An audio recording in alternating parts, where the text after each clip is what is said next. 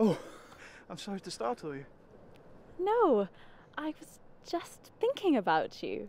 I have been at Mrs. Finching's this afternoon, and we spoke a great deal about you.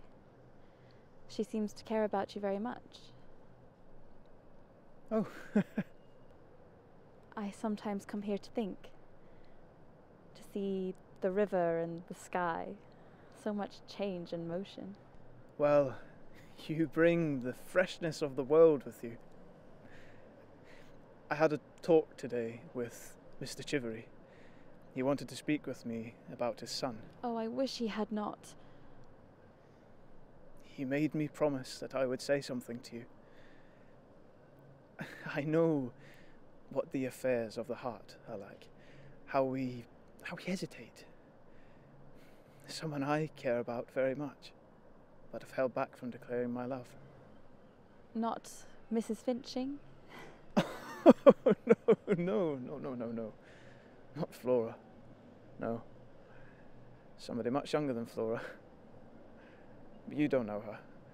But this isn't about me. All I'm saying is if you love John Chivery, if you truly do love him, then seize your chance of happiness. Please stop. I do not love John. I wish I could. It distresses me to see him unhappy, but I can't love him. Not in that way. Not to be his wife. I wish you had not spoken to Mr. Chivery. I wish you had not spoken to me.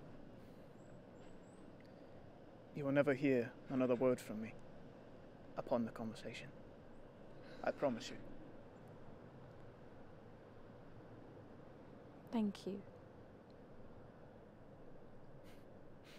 Are we still friends?